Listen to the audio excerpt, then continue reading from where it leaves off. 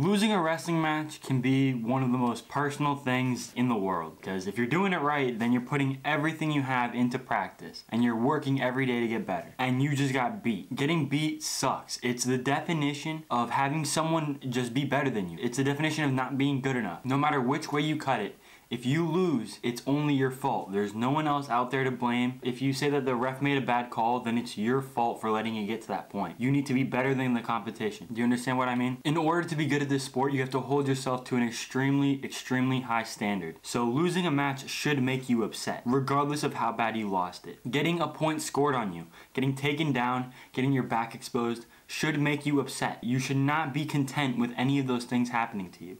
It should make you very, very upset. If you lose a match, like one of the most important things to take away from it is the video of you losing a match. They're very hard to watch. I understand watching yourself lose is like the most difficult thing in the world, but you have to watch the matches that you lose and you have to see exactly where you went wrong. You have to replay it, watch it, identify exactly where you went wrong, what you should have done better, what steps you can take next time. For example, if you gas out in the third period, then you need to run more. You need to do more cardio. You need to focus more on that aspect. Or if you get pancaked from a stand up, then you're just doing stand up slowly and poorly. You need to watch yourself with a very critical eye.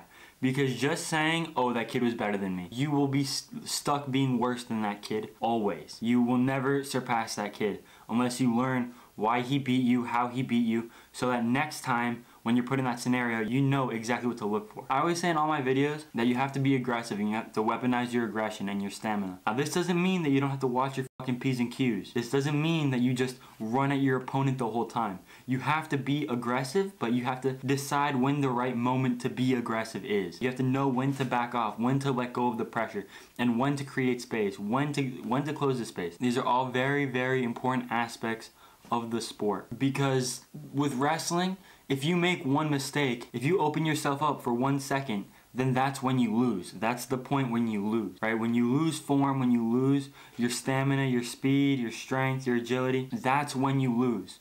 It's not in the beginning of the match when you're like perfect and you're as fast as you can be. Very rarely do people like take someone down with their first shot, at least a quality wrestler, right? It usually takes some chain wrestling. It usually takes some effort. So remember those things when you lose a match. It happens to everyone. You should be upset, but don't beat yourself up too much over it. Just just understand how to take the steps to learn from your losses. Because if you don't, then you'll be worse than all of the kids who beat you. Don't let that define you. If you guys like my videos, and hit the like button, hit the subscribe button, and until next time, I'll see you guys. Peace.